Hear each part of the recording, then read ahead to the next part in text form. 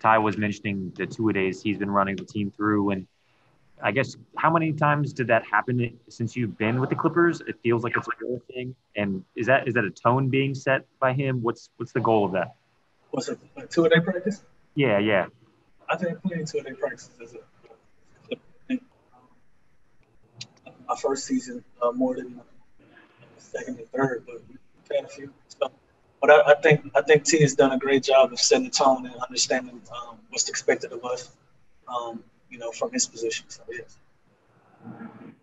I guess what's the because you guys only have three preseason games. What do you now in this stage of your career want to get out of this shortened preseason?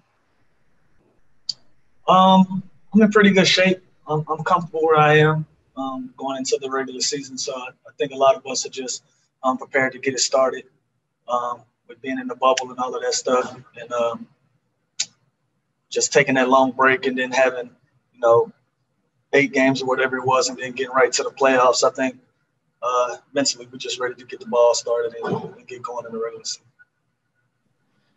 We'll keep it going. We'll move on to Tamir.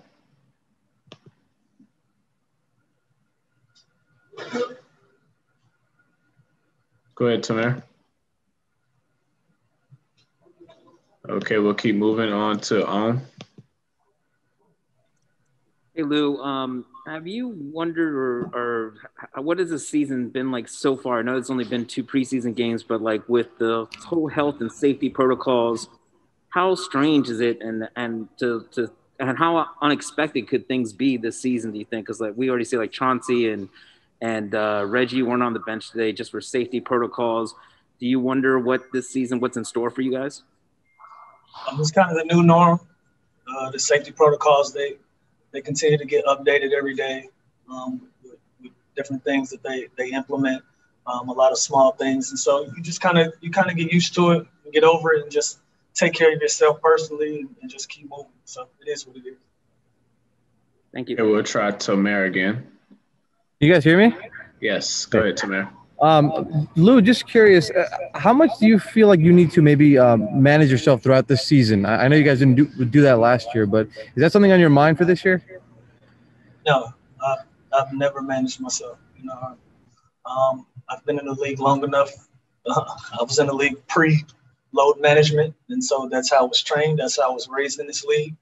Um, and so, uh, personally, I don't think that's something that that, that happens um, from my standpoint that's something that the coaching staff or the training staff feels like I need to do, then um, I'll, I'll, I'll, I'll, let them lead by lead with that. But other than that, my personal opinion is uh, no. I'm just going to play the 72 game season. Okay, we got time for one more. Um, then we're going to go to Coach Ty Lue. Uh, next one, is, last one is going to go to Sabrina. Hey Lou, uh, it seems like you're going to get a lot more minutes with Zubac this year. The way the rotations are set up, uh, what what do you like about playing with him, and what have you seen him improve upon? You know, from last year. Is still learning, still growing as a player. He's still a young player, so I look forward to getting with him, make sure we get on that same page, just being a one-two punch. And um, and, and, not only Zoo, I think the the identity of the whole second unit looks different. Um, and so for us to be successful, we're all going to have to get on the same page. But uh, Zoo specifically you know, he just got to get better with his hands. That was a that was a conversation we spoke to. I'm a willing passer, and he knows that. Um, and so for him to be successful and get a lot of easy looks, we're going to have to get better and get on the same page with that. Other than that, I look forward to growing with.